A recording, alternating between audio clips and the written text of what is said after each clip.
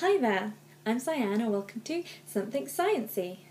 Last time we were looking at fast movements, so today we're going to be doing the complete opposite and looking at things that move slowly.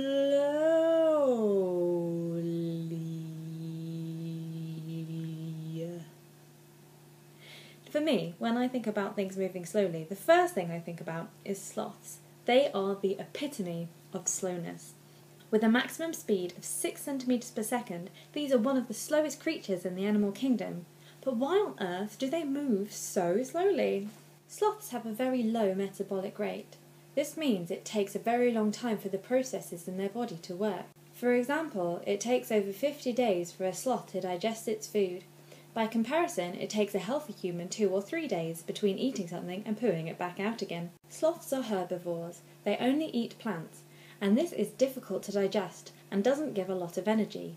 So instead, sloths conserve the little energy they do have by not moving very much or very fast. It may be more energy efficient to be slow, but what about running away from predators? Surely it's better to be fast. In fact, in the sloth's case, it certainly is not better to be fast. The predators of sloths have very good eyesight. They can detect movement and shapes in the trees, so sloths move slowly to avoid detection.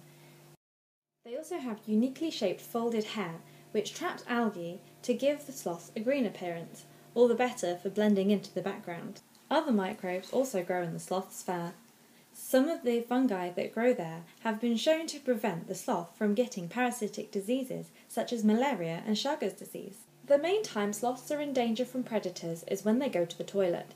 Instead of just going in the treetops, they take a long time to get all the way to the bottom of the tree, do their business, then climb all the way back up. At the bottom of the tree, they are vulnerable to forest floor predators such as jaguars. But it's very important in sloth society to do this. This is how they communicate to other sloths. In their poo are chemicals that the other sloths can detect that tell them things like if a female sloth is ready to mate. Hey there, I hope you enjoyed that. If you did, please be sure to like this video and if you haven't already, subscribe to my channel. If you have any comments or questions, please write them in the comment box below and I'll be sure to answer them on the video that I release on the third Thursday of the month. But as always, you've come for the science, now stay for the song. This is a song that goes really slowly. How long will it take for me to sing this song? The slowest creature I've ever seen takes laziness to the extreme. But it evolved to be that way, slowly passing every day.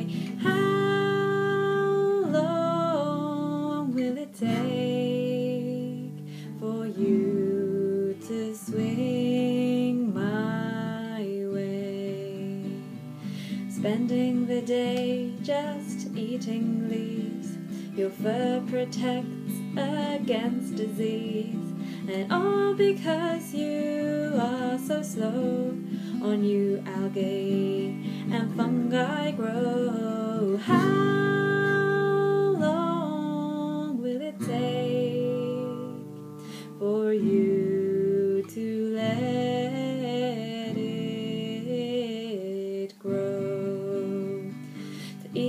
Eagle-eyed nasties, you look a treat something tasty for them to eat. So you blend into shady trees and sway so gently in the breeze. And how long will it take for them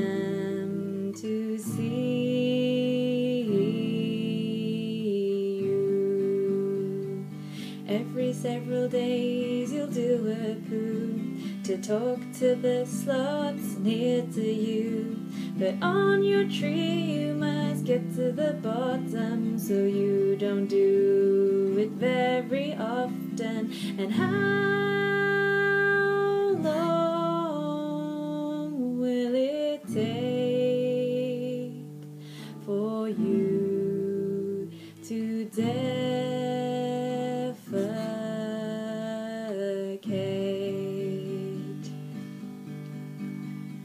So there we are, sloths are very cool. They don't follow the quicker is better rule. They do things their own way, not so fast. They never fail to flabbergast, and that's how long it will take